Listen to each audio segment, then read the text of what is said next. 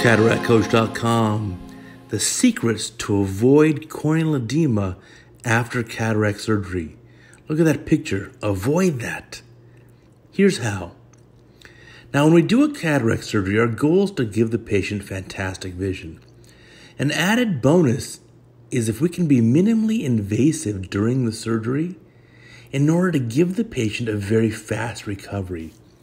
If we can achieve a clear cornea and great vision on post op day one, that's much better than having the patient wait a week or two to recover clear vision due to having a cloudy cornea or corneal edema or Descemet folds.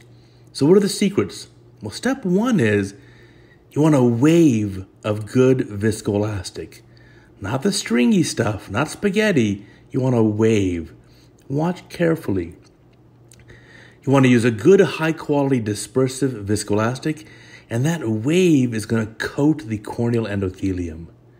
If it comes out like spaghetti string, it's not going to coat. That's very important. Now, step two, you gotta make a great incision.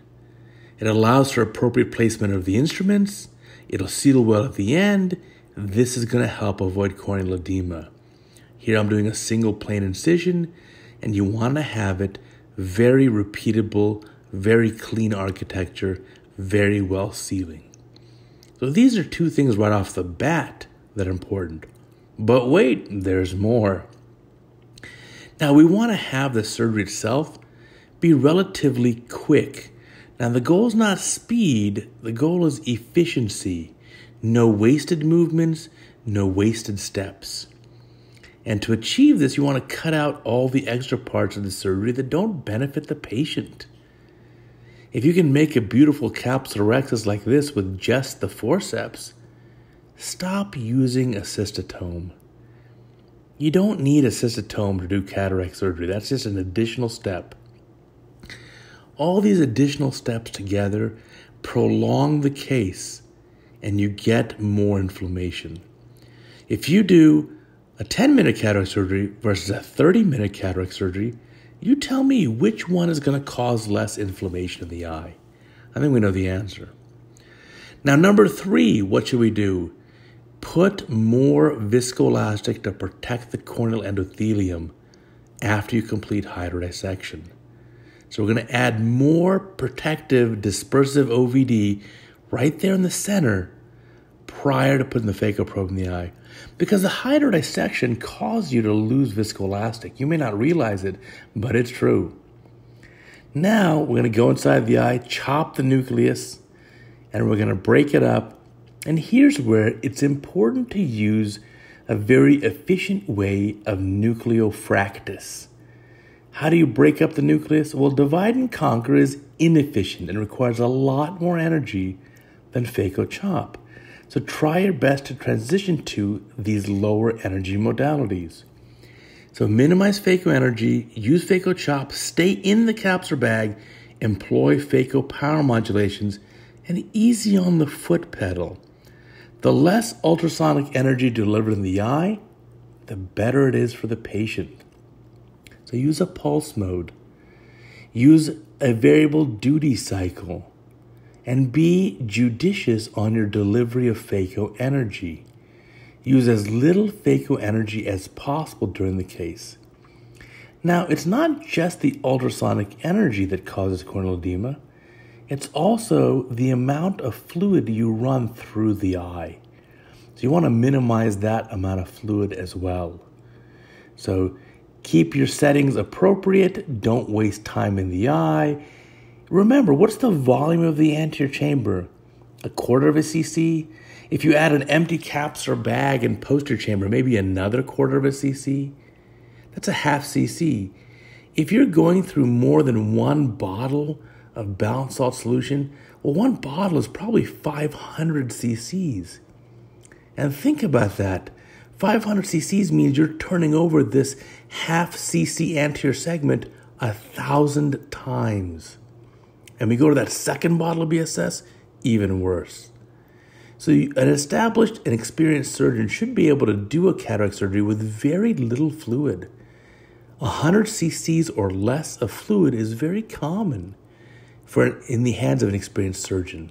And the less fluid you put through the eye, the better. The less ultrasonic energy put inside the eye, the better. If you are going to deliver this energy in the eye, again, stay away from the corneal endothelium. Operate at the iris plane or even deeper in the eye in the capsular bag. But avoid operating near the corneal endothelium. So here we're filling up our capsular bag. You see our capsulorhexis there. We're going to load up our lens and deliver the lens.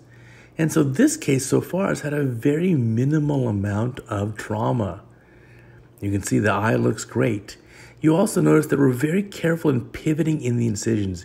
If you distort your incisions and you see wrinkles in your cornea as you're operating, well, you're going to see those same wrinkles the next day on the first post op visit, and they're going to persist. So, to avoid those, you got to pivot in the incisions.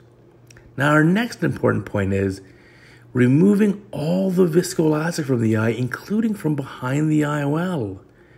If you leave viscoelastic in the eye, it can cause blockage of the trabecular meshwork and a very high spike in the intraocular pressure. And if the eye pressure goes very high, 40, 50, 60 cc's, uh, 60 millimeters of mercury or more, this patient's going to have a painful eye and a lot of corneal edema just from that increased intraocular pressure.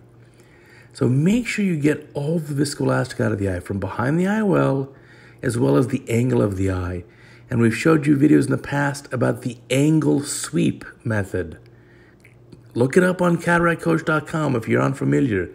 The angle sweep is a way of making sure there's no retained viscoelastic in the angle of the eye, which is the most common place.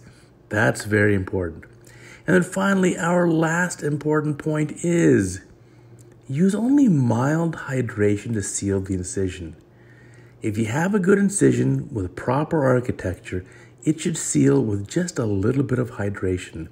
Look how I do the roof of the incision back and forth just a little bit. I do not advocate these huge white spots against the lateral walls of the incision. Those induce a lot of temporary astigmatism, and those can even spread towards the center of the cornea if you're too aggressive in the hydration, and that will cause even central corneal edema. So be very judicious in this.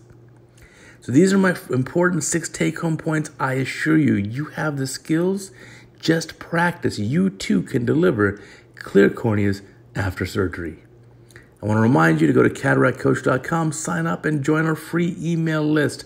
A new video and accompanying article every single day delivered right to your inbox. And you can also submit your video for consideration and review anonymously or not here on cataractcoach.com.